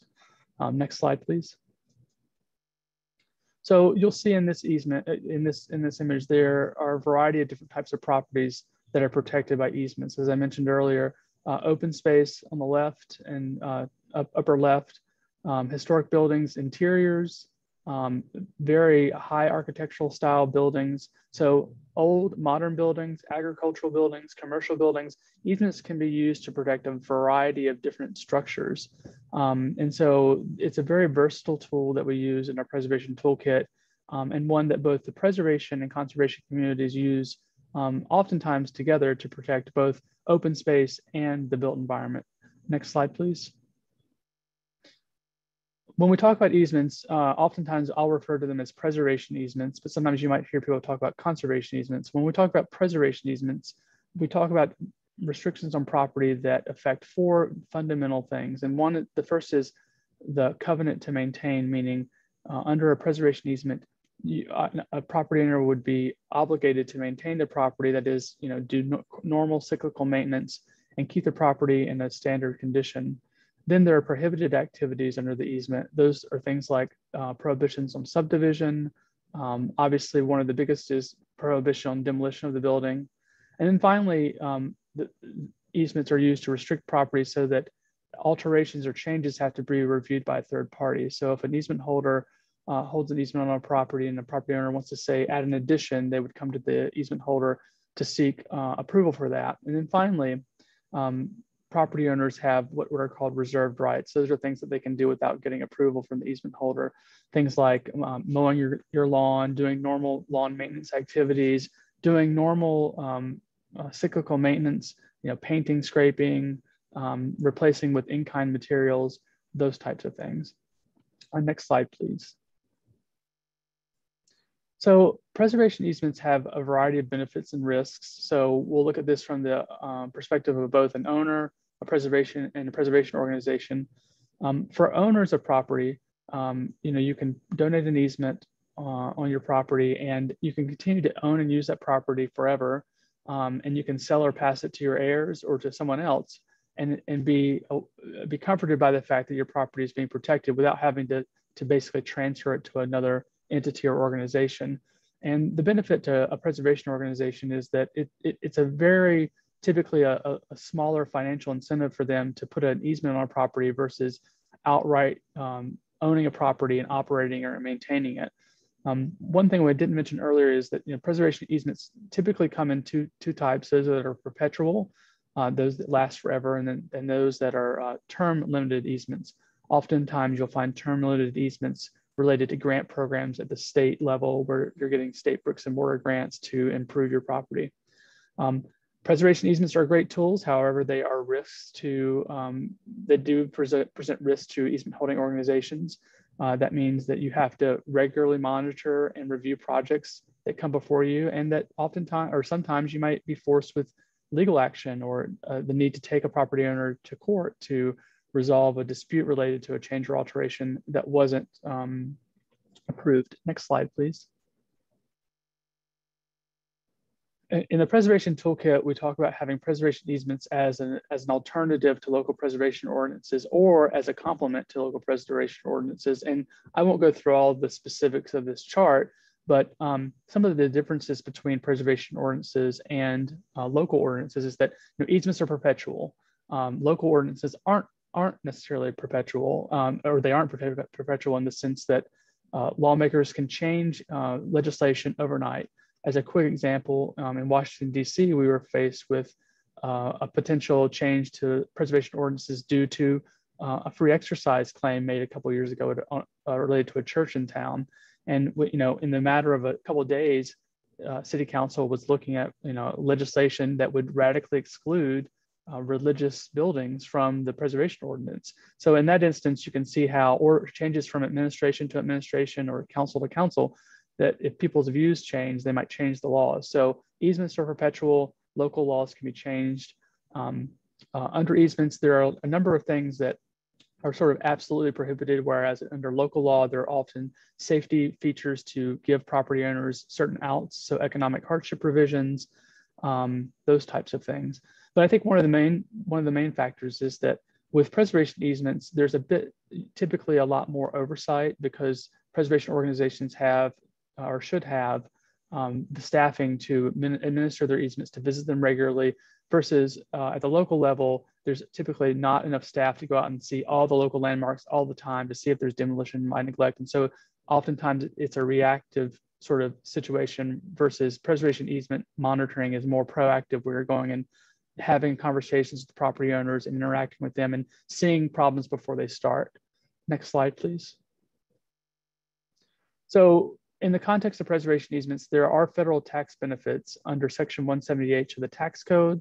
Um, and the, the, three fundamental things that you'll want to be aware of are that if you have a property, you can um, put a perpetual restriction on it to restrict its use. You have to donate that to a qualified organization. Uh, and that means, you know, 501c3 or governmental organization. And it has to be what's known as for uh, exclusively for conservation purposes. Um, as I mentioned earlier, that can mean protection of open space, natural habitat, but the area we focus mostly on uh, in the preservation world are the protection of historically important land areas or certified historic structures, also known as just historic buildings that are listed on the National Register.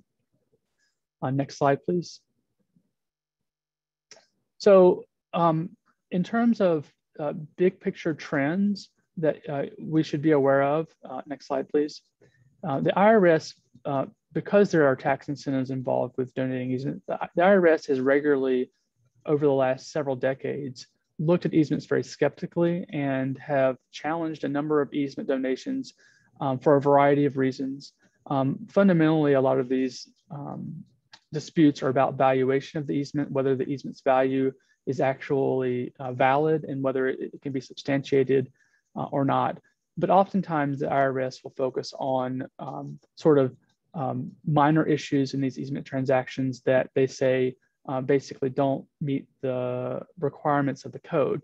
So the, the couple areas I'll talk about very quickly are proceeds clause under these easements. So right now, there's been a lot of um, a focus on proceeds clause under, under easement um, cases where the IRS has argued that, you know, if the, if the easement holding organization in a condemnation setting um, is not um, entitled to the entire value of the easement uh, after condemnation, um, that that they are somehow violating the perpetual requirement of the of the tax code.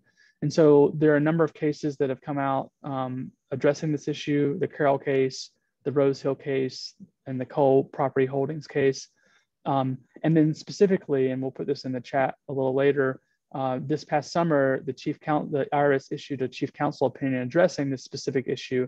And basically, the idea or the concept here is that you know your, the value of your easement must track throughout the life of that easement, and that you can't net out um, a, don- uh, a property's improvements from those proceeds. So, in other words, if your easement is worth 10% of the property in year one, it's worth 10% of the property in year 50, regardless of any improvements the donor may have made over the course of those 50 years.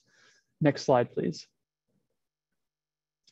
The other area that the IRS is focused on are easements that have what are known as automatic approval clauses.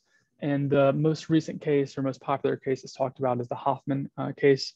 Um, and it was reviewed by the Sixth Circuit. And in that case, basically, the court was looking at easements where the easement holder and the property owner the donor had agreed that if um, the easement, the property owner presented the easement holder with requests for alterations or changes of the property, and there was never a response from the easement holder, that over time that that lack of a response would be deemed an approval or an automatic approval. And the IRS argued that if uh, if that's the case, then the easement holding organization is not actually enforcing their easement. They're not actually abiding by the terms of it, and that it's actually not perpetual. Um, and the tax court uh, agreed with the IRS in that situation, and the Sixth Circuit also agreed. So, um, generally, as a best practice, we don't like to see automatic approvals in easements. And if, if you're going to include an automatic approval clause in an easement, it's typically best to uh, draft it as a constructive denial, meaning, you know, if the easement holding organization doesn't respond within a number of days, the request is deemed denied. Next slide, please.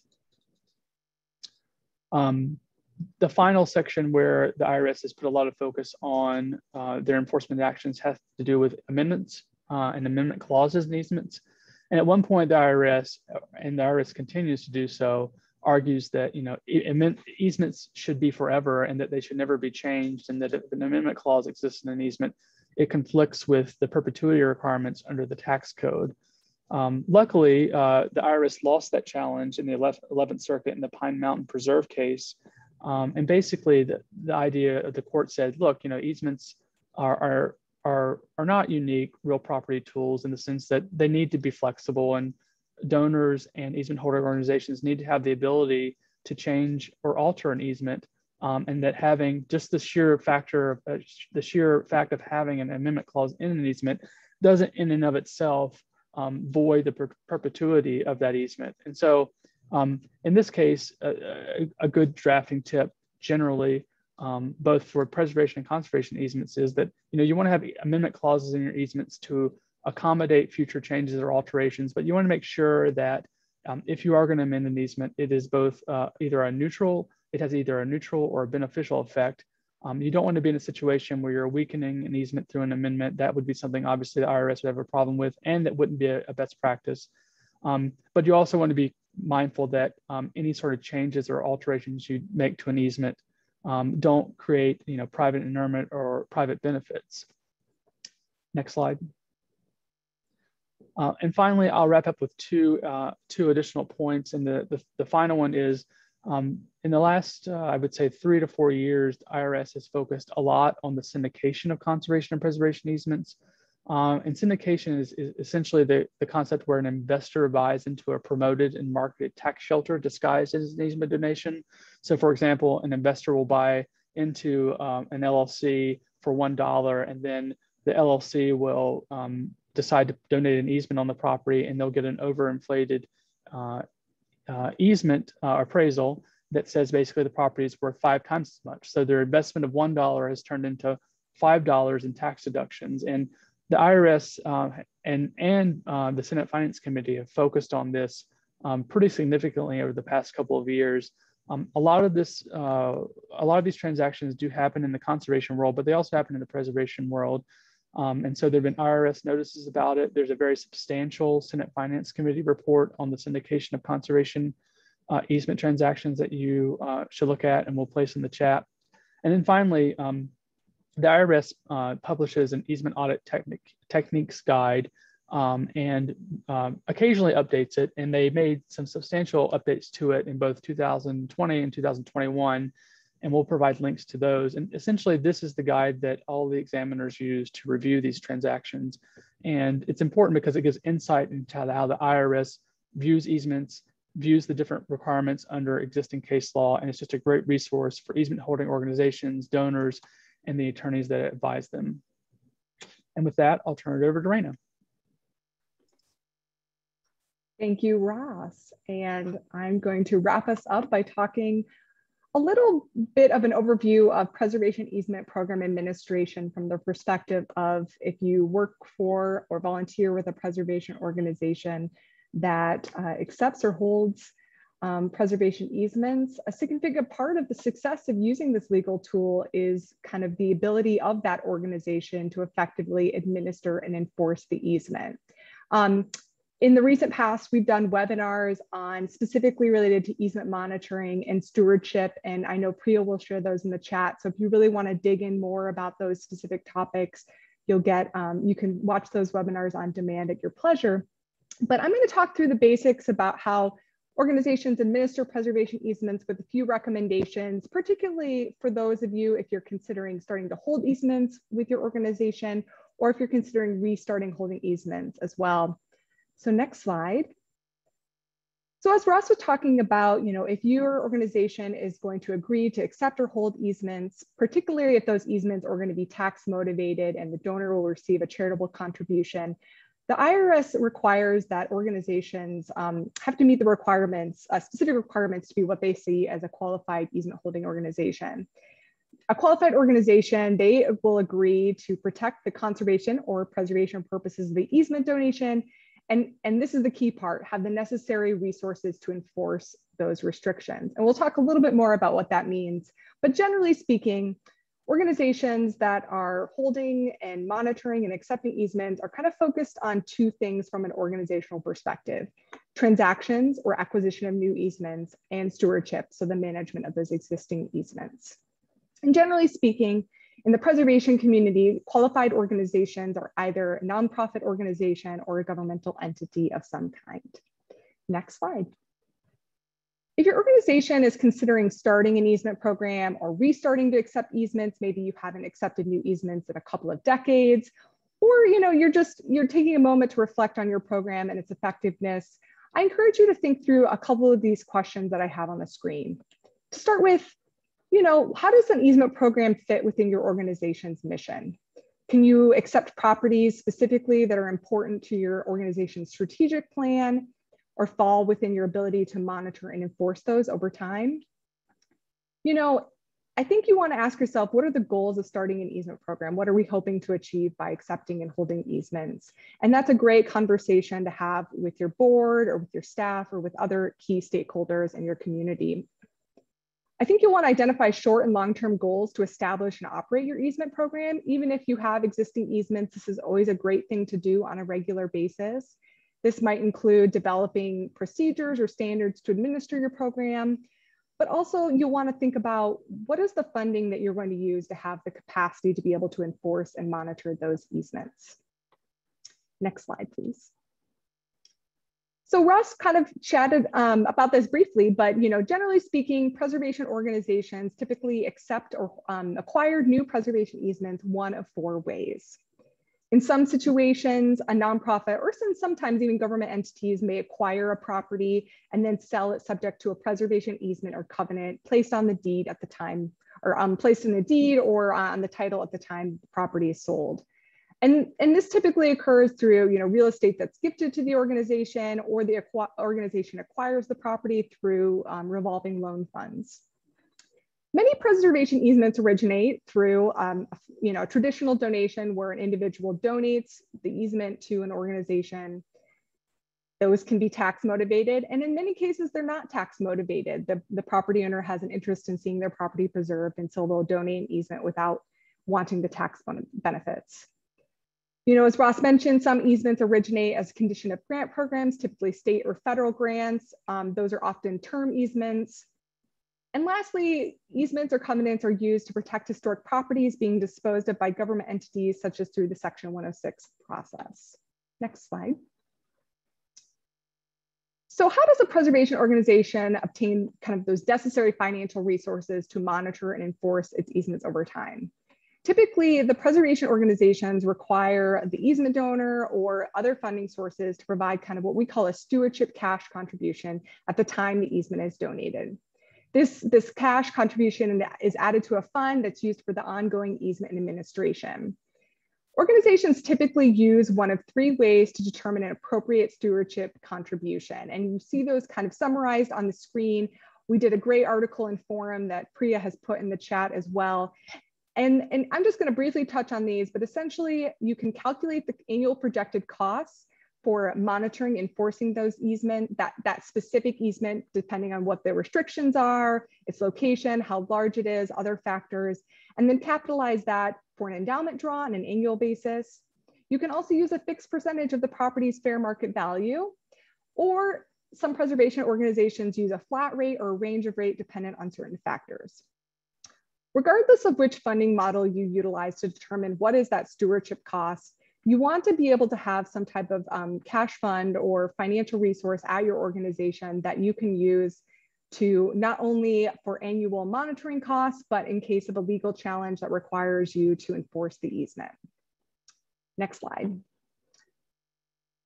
Organizations should be strategic in how they acquire new easements. And, and, and really a, a key part of the administration and long-term relationship with the property um, and the preservation of the property through an easement starts when it's, it's being drafted and developed. If you're considering using an easement to protect a historic property, you should evaluate the property to ensure it meets whatever criteria you've developed or goals you have for your easement program. The National Trust, we have something called a project selection criteria that helps us narrow down, um, you know, if, if the project meets kind of our, um, our goals for our easement program. And you'll typically need to complete a site visit to complete your evaluation. As part of your developing the easement, you want to be able to make sure that you're drafting this easement, identifying the specific historic, architectural, and conservation values of the property, and developing an easement that um, helps advance the preservation and conservation purposes of the property. A critical challenge for preservation organizations, I think, in, in developing new easements is addressing those other conservation values um, you know, if you have a large, say a large farm or rural property that's not only has a historic farmstead, but also might have some agricultural land, you might want to include um, easement restrictions that address that open space and natural, um, natural resources or other conservation purposes. And on the other side, land trusts have the same issues when they're developing conservation easements that protect historic resources. I encourage you to reach out to land trusts or other similar conservation organizations in your, in your area and, and find ways to collaborate so you can better learn how to develop um, easements that protect the whole property. And lastly, I'll note when drafting new easements, um, consider the long-term stewardship stewardship and enforcement of the restrictions. I think many of us who've worked in easements have have have easements that date from the 70s and 80s, and we've we've learned that over time that some easement restrictions have seemed great ideas in practice, but they do pose long-term um, stewardship or management challenges, not only for the easement holding organization, but the property owner and preser preserving the property. Now, with climate change being a factor, you really think long and hard about what restrictions make sense for that property um, before putting on them on the title in perpetuity. Next slide. Well, I'm not going to go point by point here. I just want to touch on the fact that, you know, if, if you're going to be um, accepting a new preservation easement at your organization, this kind of walks through a step-by-step -step of the best practices involved to kind of the due diligence and accepting and holding an easement you know, your organization should understand, you know, this is a risk or liability your organization is accepting in the into you know the preservation of the property. And so you know this process typically does take some time and staff time. And so um, there's lots of resources out there about um, some of these topics. And if you have questions about them we're happy to go through them. Next slide. When I talk about stewardship, I'm talking about the ongoing administration of the easement, the day-to-day -day, um, you know, you know, management of the easement and kind of the organization's ongoing obligation to ensure the terms of the easement are being upheld. Your organization wants to develop a good relationship with the easement property owners, and that you can typically accomplish through having cyclical easement monitoring, promptly reviewing the request for approval, keeping in regular communication with your owners, among other activities. Stewardship also involves reaching out to new owners and helping them to understand the easement and its obligations. I know I wrote a piece for a forum blog about some common ways to track, track changes in easement property ownership. Changes in property ownership and, and subsequent owners from the donor is often where there will be challenges in easement um, enforcement or often violations if they're not familiar with the easement and understand its terms. Next slide. And easement enforcement, so we've talked a little bit about this. So that typically involves when a preservation organization utilizes, there's remedies typically in the easement agreement that allows the organization to, um, to address if there's a violation. So if there's been an alteration without approval, if there's, um, um, you know, the owner is not upholding the affirmative maintenance clause, or if there's a not permitted use, um, the easement or holding organization does have legal remedies to address that violation. At the National Trust, and I think it's a best practice of all preservation and conservation easement holding organization, you know, you want to seek um, kind of resolving that violation without seeking legal action to the best of your ability. But, you know, sometimes that's not feasible and you might have to, you know, to take a property owner to, you know, to seek legal action to kind of remedy that violation. But I would suggest that a major part of preventing violations include regular contact with your property owners and conducting inspections on a cyclical basis. This helps reinforce the easement terms and remind them of their obligations is a great way um, to kind of keep that top of mind for them so it avoids future violations. Next slide. So we commonly hear from staff or volunteers from preservation organization interested in kind of reviving their easement program. Perhaps you accepted some easements in the 80s and you haven't in a long time and you're thinking about, you know, we want to kind of refresh our program. And so I thought I would just kind of kind of give you my insights on what I would do if I was in your position. You know, perhaps you haven't accepted a new easement, you know, in a long time. And so you're just trying to get a handle on what's the state of your portfolio. And so you know, it's always good to start with what you have already. Inventory your existing easements, um, make sure you have copies of your existing recorded easement documents. You know, determine how you're going to keep records, such as developing a database, um, how you're going to store your records, your inspection photographs, um, digitizing them if that's something that's feasible for your organization. Um, we just developed a GIS um, application and database for our program. And I know Priya will share that link in the chat. And that's been a great asset for us and our easement administration. If you're kind of restarting your program, you want to update or um, develop a few key organizational documents, such as having an easement policy that'll outline kind of the, the framework of your program, including what types of properties that you'll acquire new easements on. You'll want to develop um, kind of standard operating procedures, which kind of outlines you know, the day-to-day management of the program, you know, kind of the institutional memory so that when you have staff turnover, if a property owner, um, you know, has a new contact, that they have a seamless transition and how the easement is, is administered. And the best way to accomplish that is by writing everything down so that your procedures are standardized. Next, you'll want to establish a regular monitoring program that helps you consistently communicate with your existing property owners. And I think from there, that gives you an opportunity to really have a great framework in place to start accepting new easements. You can say to donors, we have this program, here's how it organized. Um, you know, we have a regular monitoring program in place, and then you can start um, share, you know, eh, trying to uh, seek out or accept new easements. So that is all I have. And so I think I will turn it over for the Q&A. Thank you very much. Hi, everyone. Sorry, I was uh, busy putting links in the chat. So um, I hope many of you have noticed uh, that, uh, first of all, if all our panelists want to hop on camera now, they can. And Rhonda, I don't know if you want to stop sharing. Go ahead and do that so we can see everyone. Um, but it looks like our panelists have been busy answering all the questions in the um, in the chat box. Um, I don't know if there's one that you guys particularly want to highlight that you've already answered. There's a lot in here that they've already answered that I think all of you who are participating can see. And they basically had to do with all sorts of the issues that were brought up during the um, presentation. So I can read the two that haven't been answered if that makes sense for you guys. Yeah, I'm seeing general nodding. Okay, so um, we'll start with this one from Evelyn that says, have there been any trends in whether the courts side with the property owner or with the easement holder when the National Trust or other easement holders have pursued legal action over lack of maintenance and or unapproved alterations? And I think this is a Raina and a Ross question. I'll let Ross answer that one if he's so inclined. I, I wouldn't I wouldn't say there are trends. I mean, there are not a lot of, first of all, litigation is extremely expensive. So most uh, easement holding organizations avoid and uh, or come to some compromise with the property owner before litigation occurs. And so there aren't, there's not a great case uh, docket of cases out there that address these issues.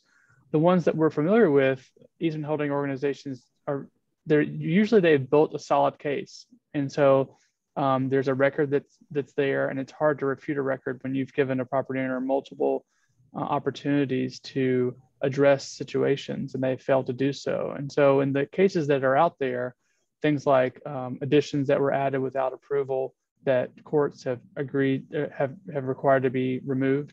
Um, you know, that easement holding organizations prevail, um, but I would say there's not. It's hard to say there are trends because I, I don't see a lot of um, these. These aren't cases that pop up a lot um, on the radar, and I think mainly that's because oftentimes they get settled way before they get to that point. The threat of litigation alone is probably enough to settle most of those cases.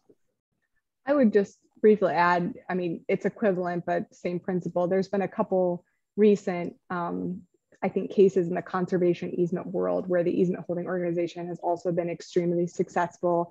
I believe the Sonoma Land Trust was very successful in some litigation revolving tree removal. And there was a, a um, easement holder in Connecticut that was very successful. So I think in kind of the broader picture outside of preservation easements as well, it's been there's been some general success. Uh, great. Um, this is another question directly towards Ross. In, um, I think he means RLUIPA. What is the definition of institutionalized persons? Or she, I'm sorry, Leslie. I apologize for gendering you. Um, um, typically, we're talking about people that are um, uh, people that are in incarceration or other people that are subject to uh, federal, uh, federal or state uh, laws that um, either incarceration or your um, are, um, in confinement, so mental institutions, those types of places. Those would be the types of um, individuals. Great. Um, let's see. Uh, Irving is asking, um, does a term preservation easement in a grant situation cause the grantor to lose the tax benefits such as a deduction or tax credits that normally accrue to preservation easements? Yes. Uh, if you're getting an easement that's um, the result of a grant, or if you're having to give it an, an, easement because you're receiving a grant, it's not eligible for tax deduction because it fails to have donative intent essentially you're you're agreeing to get compensation or a grant in exchange for giving an easement on your property. So the IRS wouldn't recognize that as a valid uh, qualified conservation contribution. Um, I don't, there's one question that I, I haven't asked, but I'm not 100% sure what they were referring to. So I'll read it. And then if you can guess, let me know. Um, have there, where did I go? Um, I lost it. Two seconds. Yeah, there's a there's another question in the chat on easements, which ask, are there any appraisers who can appraise preservation easements on historic structures in Colorado? Thank you, Tom. Ross, Raina. I don't know that we know of specific appraisers. Um, there's someone that I can refer you to that if there are specific persons, I'll, I'll put their name in the chat privately to you. If, if they know, if there is someone, they'll know who you should talk to and I'll, I'll message that to you directly. And generally speaking, um, there are courses uh, for appraisers to take that focus specifically on appraising conservation and preservation easements. It is difficult to find those individuals. The Appraisal Institute has a website. You might look there, but Colorado, I suspect, is a, is a difficult area. Most of these individuals practice at a national level. So um, they will nec- not, won't necessarily be in Colorado, but they may be somewhere nearby. Um, so I would I would check out the Appraisal Institute. You might get lucky and find the name of somebody in out west that does conservation or preservation easements. I, I would also jump in and encourage you to contact History Colorado. It's really a fabulous organization, and I'm sure that they've dealt with this issue in Colorado before. Yeah, um, I see another question just came in the chat. I would just ask that if you ask anything, please put it in the Q&A. Um, it's just easier for us to track and monitor. But Blair is asking if an easement agreement was never recorded with the county clerk's office, is it still enforceable? If an easement is recorded with the county clerk's office, is it enforceable? Um, if, it was, um, if it was never recovered. Oh, sorry, never if recorded? it was never recorded. So, oh. uh, uh, sorry, I didn't hear. That, I missed the never part. Yeah, that's a, a, difficult situation. Probably not, but it just depends on the facts and circumstances of that interaction. So, for example, if the person, if the easement, um, if the property owner is the same person that donated it and it was never recorded, but they still own the property, it could very well still be enforceable. If they sold the property, it may not be. Great. Um, okay. There have to be other questions about like First Amendment, free exercise, takings, well, Section 4(f). there, there's a lot of easement questions, but I will say the one question that people have asked me in the chat a bunch, and I see just came in is I'm going to take all the URLs and all the links that we're putting in the chat and put them in uh, a resource, to, like a link on Preservation Leadership Forum, but we will link to this off the Saving Places conference website. And then everyone who has registered for this webinar will get a link to that in um, an email from, um, I think, Zoom webinar or directly from us um, about 24 hours after we end today. Um, so you will get all this material. Um, I guess um, the, let's see, uh, it's an easement question, I'm sorry. um, my organization has an easement held by a state entity, but we haven't had much successful communication with them with regard to upcoming updates we are trying to make for security purposes. Do you have any advice for channels we can consider in order to make sure we're not making changes in defiance of our easement? I think um, a couple suggestions, not sure, you know, what state entity, but, um, you know, obviously trying to provide them, you know, written notice. Um, and so you know, if I was trying to reach out to a property owner and they weren't communicating with me, one of the things I would do is try to send them certified mail in the US Postal Service. And that way, you know, that that is actually getting to someone. And, um, you know, I know that, you know, we're a lot of, you know, government entities and workplaces, obviously you can see some of us, the National Trust are still at home and some of us are at the office. So I think, you know, it is a difficult time to reach out to people, but that would be one suggestion I would have. Um, Ross, if you have others. Uh, I think that you want to just create a good paper trail that says that you made multiple attempts to contact them, as Raina said, um, and at this point, start um, going up the chain. If the if the division that you are interacting with is not responding, then keep going up, and eventually it will get to somebody that will respond. It may not be the response you're looking for, but it they'll respond.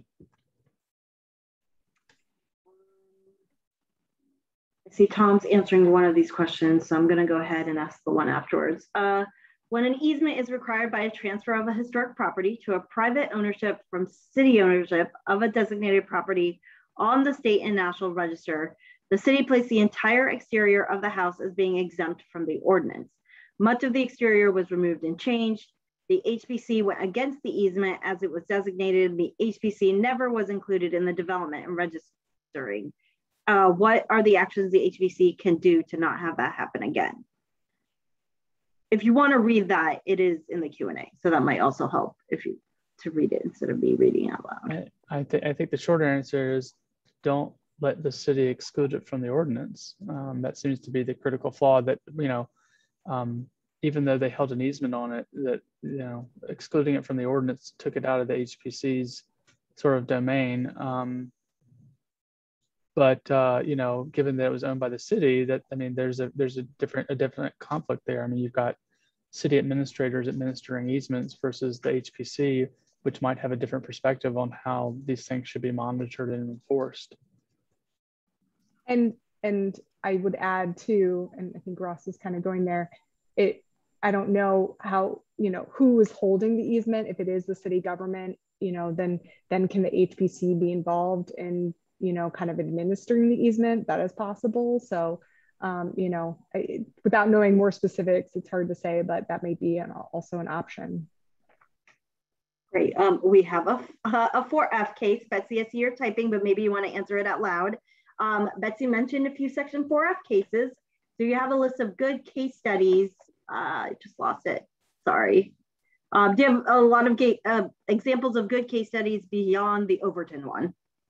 Sorry, you lost it because I pressed uh, send for my typed answer. Um, I'd be happy to provide a list, and, and I actually just wrote to the person saying, send me your email address and I'll email you a list, but I could provide it to you, Priya, and we could post it along with the other post-conference materials. Sure. Um, let's see, anything else? Uh, someone's asking about the transcript. We don't usually provide the transcript for uh, webinars um, just because um, we just don't usually provide that. Uh, when we do upload the video on YouTube, we do make sure that the auto captions are on there. So that's available. Um, but um, if you really need it, reach out to me at forum at savingplaces.org and I can see if I can pull it for you. It likely will not be cleaned up um, and we'll have lots of name misspellings and word misspellings. So it might not be of very much use to you. Um, but I can try and pull it for you if you need it. Um, Maria, there's a question about um, free exercise and the establishment clause from Jonathan Stark Sachs. Maybe we'll have that as the last question. Yeah, let's do that. Um, do you want to go ahead and read that? Because I don't. Mm. it says it says how can a state or local government balance the requirement that their funding programs do not violate the free exercise clause and discriminate against religion, and also not entangle themselves with religion under the establishment clause? I think that's a Ross Bradford. So, I mean, the, the main, the primary issue here is that if you have a funding program that you don't obviously want to um, fund grant grant programs in general are, are viewed as not being uh, in violation of the establishment clause. There is an exception I mentioned about Morris County, where the New, New Jersey Supreme Court found that that wasn't the case. And one of the caveats I didn't mention during my part of the presentation is, is in addition to, to the federal constitution, there are state constitutions, and sometimes they have a stricter standard regarding free exercise and establishment. And in some states, it just may not be possible under the state constitution to provide funding to religious or, organizations or entities. But if you do have a funding program, um, I would say that you need to apply it the same way you're applying it to everybody. Uh, and don't make a church go through unusual steps in order to comply with the, the grant funding program.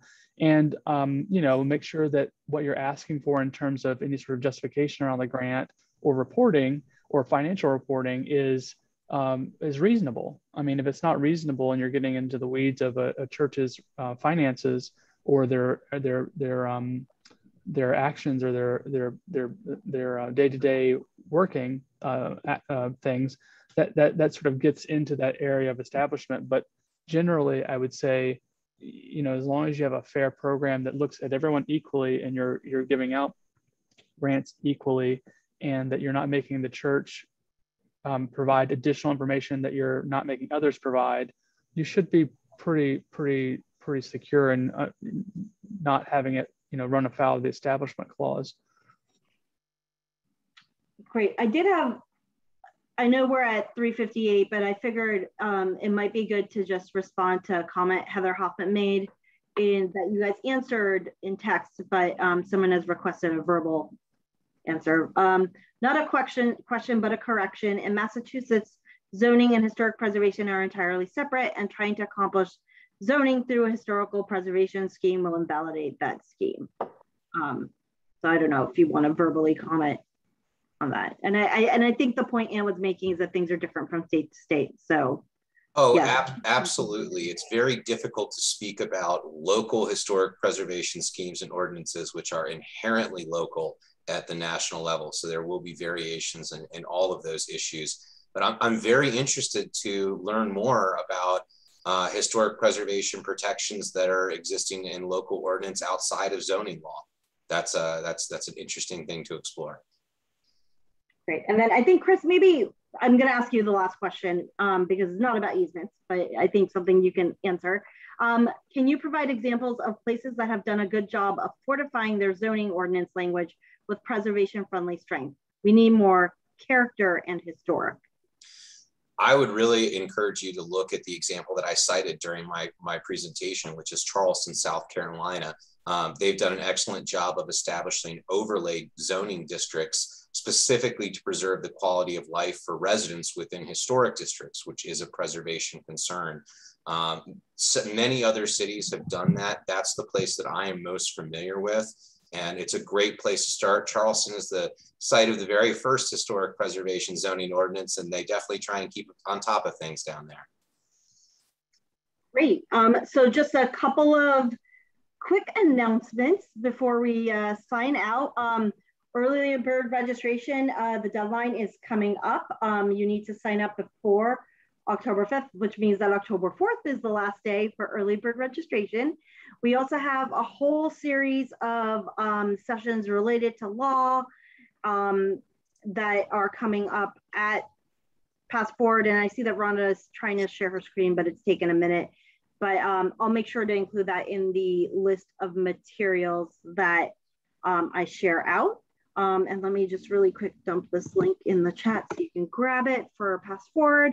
Um, and as I've mentioned a bunch of different times, um, I will include everything as much as I can include in the with the recording um, that will go out in an email to the email address that you registered at the end of this, um, uh, 24 hours after the end of the session. So um, thank you for coming um, and have a great day.